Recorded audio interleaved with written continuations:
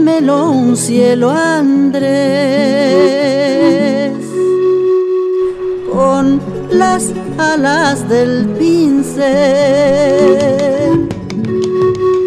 Volemos sobre los cerros para ver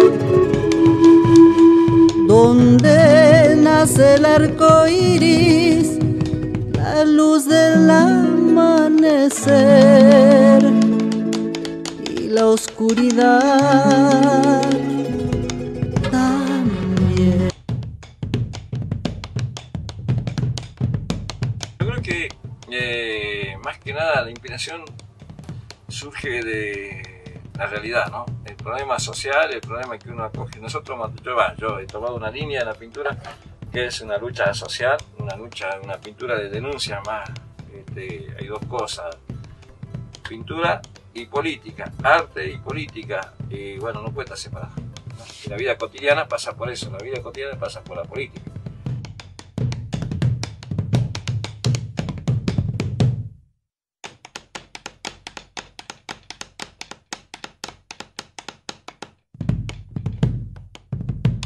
Cada cuadro es una poesía, es una creación, es un, un- un libreto. Y ese diálogo que se produce antes de la tela y después con la tela en blanco.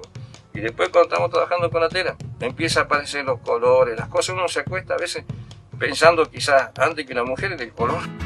Se le murió su negrito, ay, su negrito Dios lo tendría dispuesto, ya lo tendrá colocado como angelito del cielo. Desengáñese, compadre, que no hay angelitos negros.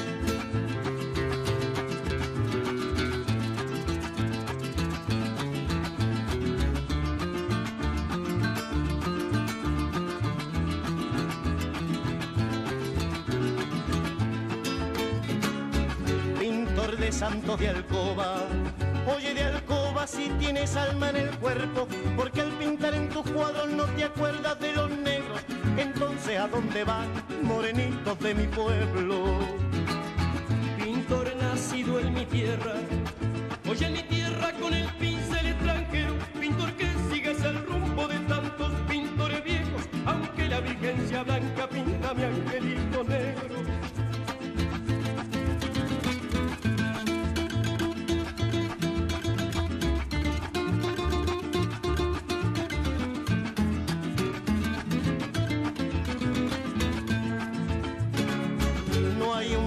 Pintor que pintara, hay que pintar angelitos de mi pueblo. Yo quiero angelito blanco con angelitos morenos. Ángel de buena familia no basta para mi cielo. Si queda un pintor de santos, oye de santos si queda un pintor de cielo, que haga el cielo de mi tierra con los tonos de mi pueblo, con su ángel de perla fina, con su ángel de medio pelo. Sus ángeles morenos.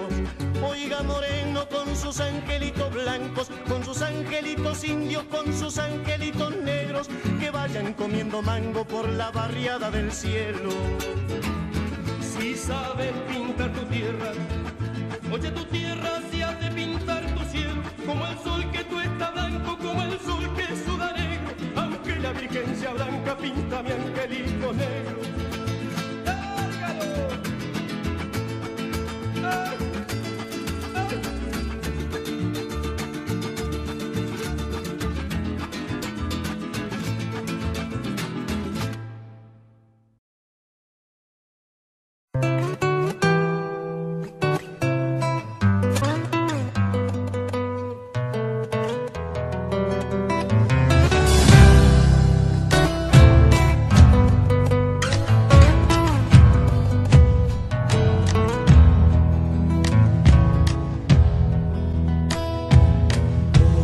Anacleto cigarro, ojitos de mariposa,